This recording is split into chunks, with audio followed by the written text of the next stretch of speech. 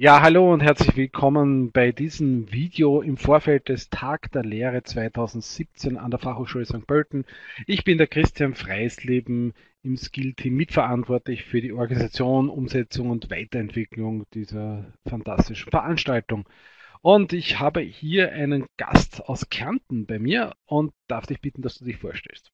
Ja, äh, mein Name ist Florian Buchner. Ich habe hier die äh, Professur für Gesundheitsökonomie seit äh, gut zehn Jahren an der Fachhochschule in Kärnten und da neben meinem äh, fachlichen Interesse äh, Gesundheitsökonomie, insbesondere Wettbewerb in der sozialen Krankenversicherung, auch ein sehr großes Interesse in den letzten zehn Jahren entwickelt an äh, ja, innovativer Lehre, an besonderen Formen der Lehre, die ich neben der klassischen Vorlesung, die ich immer noch für eine ganz vernünftige und gute Form halte, entwickle und äh, ja, habe Freude, diese beiden Dinge äh, nebeneinander äh, zu verfolgen.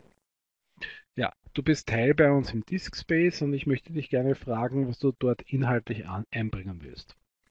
Ähm, ich möchte gern äh, unser Konzept vor, äh, vorstellen, das äh, da heißt ähm, Lernen durch Herausforderung. Ich habe da mit einem Kollegen von mir zusammen vom Bereich äh, Wirtschaft, mit Dietmar Sterner zusammen ein kleines Büchlein auch geschrieben. Wir sind uns da so äh, zusammengekommen, als wir beide so den Astrozendi äh, gewonnen haben und haben dann uns gemeinsam überlegt, äh, haben wir so völlig unterschiedliche Ansätze von Lehre oder nicht und sind draufgekommen, dass das eigentlich ganz ähnlich ist und wir auf ähnliche Dinge hinauslaufen und versucht, das ein bisschen zu abstrahieren. Und dabei ist dann dieses Konzept ähm, Lernen durch Herausforderung rausgekommen. Und dieses Konzept möchte ich äh, anhand von zwei bis drei Beispielen, also zwei Beispiele, die ich selber auch äh, regelmäßig inzwischen äh, durchführe, vorstellen. Das heißt also, es werden die zwei Konzepte vorgestellt. Äh, das ist einmal so eine ähm, hochschulinterne Konferenz bei uns,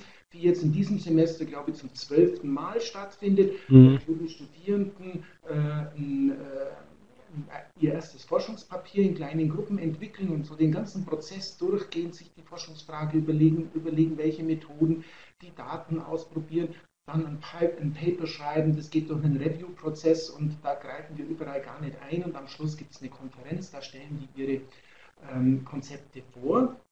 Das andere Konzept ist äh, ein Konzept, da wird über ein ganzes Semester lang ein, ein neues Gesundheitssystem äh, aufgestellt für ein Fantasieland. Das sind so die beiden Konzepte, die auch von mir äh, tatsächlich regelmäßig durchgeführt werden. Und dann gibt es noch ein Konzept von äh, Dietmar Sternert, äh, so eine 24-Stunden-Challenge, die er des Öfteren durchführt, auch ein ganz interessantes Konzept, äh, das ich mit vorstellen werde, wo es dann darum geht, wirklich in 24 Stunden eine äh, recht, äh, richtig kräftige Aufgabe zu lösen, wo die Leute auch unter Zeitdruck sind. Und allen diesen Konzepten ist gemeinsam, dass es um eine große Herausforderung geht, dass es um etwas geht, um ein größeres Projekt, um etwas, was nicht äh, schnell abgehandelt werden kann. Ich schaue was nach und löse es dann, sondern es ist umfassend. Es geht auch um komplexes Denken. Es geht darum, Dinge, die man vorher gelernt hat, ganz wichtig, man muss da auf Wissen zurückgreifen können, dann in einer Art Praxisumfeld, das wir schaffen, anzuwenden, aber über einen längeren Zeitraum, über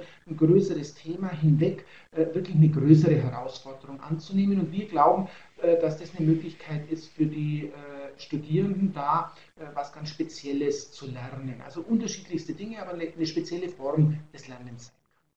Ja, also das heißt, eine spannende Form von Deeper Learning wird hier umgesetzt. Ich meine, wenn ich jetzt einem Lehrenden sage, naja, Lernen mit Herausforderungen, dann wird er mir mit hochgradiger Wahrscheinlichkeit sagen, ja, das mache ich doch eh. und, und, und wieso muss ich das nochmal neu benennen und so und halt diese üblichen Argumente, wenn man mit etwas Innovativen, Didaktischen daherkommt. Was könnten wir denn dazu sagen? Ja, man, man muss es im Grunde gar nicht neu benennen, ähm, aber es, es hat sich schon herausgestellt, dass das, was wir machen, wir haben für, für eher für ein Konzept einen Namen gesucht und haben eben festgestellt, dass wir da größere Dinge machen, dass wir die Leute nicht nur so ein bisschen herausfordern, sondern so richtig ins kalte Wasser werfen. Und das ist mhm. äh, eine Form, die äh, oft nicht so gemacht wird. Natürlich soll Lernen immer eine Herausforderung sein, ist es nicht immer, aber ähm, das ist, glaube ich, schon noch was Besonderes. Und wenn man sich diese Projekte anschaut, wird man sehen, äh, dass es sehr umfassend ist und dass da einfach dann auch, und das ist das Wichtige, äh, ein Konzept dahinter stehen muss. Es geht nicht einfach nur die Leute mit einer Herausforderung zu konfrontieren und sagen, macht mal und wir schauen, was dabei rauskommt, sondern wichtig ist, ein klares Konzept von Anfang bis Ende durchdacht zu haben und äh, man darf es nicht unterschätzen. Die, die Herausforderung ist nicht nur auf der Seite der Studierenden, sondern die Herausforderung ist auch auf der Seite der Lehrenden, äh, die mhm. mit jedem dieser Durchführungen wirklich auch viel Arbeit haben und immer wieder herausgefordert sind, weil es immer wieder individuell, individuell was ist. Wenn ein neues Konzept für dieses Fantasieland an Gesundheitssystem entwickelt wird, müssen wir mhm. uns immer neu darauf einlassen, als Lehrende mit unserem Background da reingehen und haben da eine echte Herausforderung. Also die ist durchaus auf beiden Seiten. Und wir lernen auch bei jedem Mal wieder etwas Neues, müssen neu auf die Leute reagieren. Macht dann natürlich, wenn man eine gewisse Begeisterung dafür mitkriegt, äh, mitbringt, auch sehr viel Freude. Mhm. Mhm.